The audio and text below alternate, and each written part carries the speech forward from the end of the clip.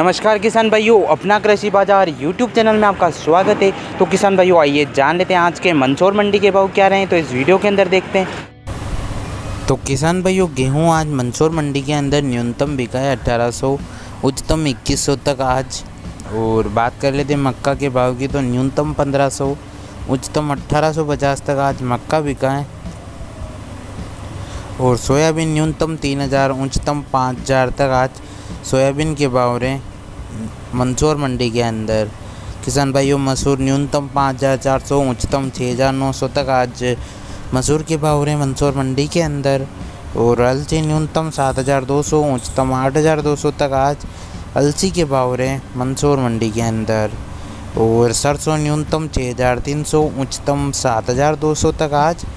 सरसों के भाव रहे और बात करें अगर चने के भाव की तो न्यूनतम सैंतीस सौ उच्चतम अड़तालीस सौ इक्कीस तक आज चना बिका है डॉलर चना न्यूनतम पाँच हज़ार पाँच सौ, उच्चतम आठ हज़ार दो सौ तक आज डॉलर चना बिका है और बात करें धनिया के भाव की तो न्यूनतम पैंतालीस सौ, उच्चतम छः हज़ार आठ सौ तक आज धनिया बिका है और मेथी न्यूनतम छः हज़ार चार सौ, उच्चतम सात हज़ार सौ तक आज मेथी का भाव रहा है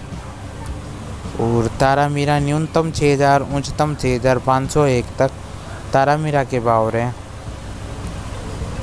और किसान भाइयों, ये सब गोल न्यूनतम ग्यारह हज़ार चार सौ,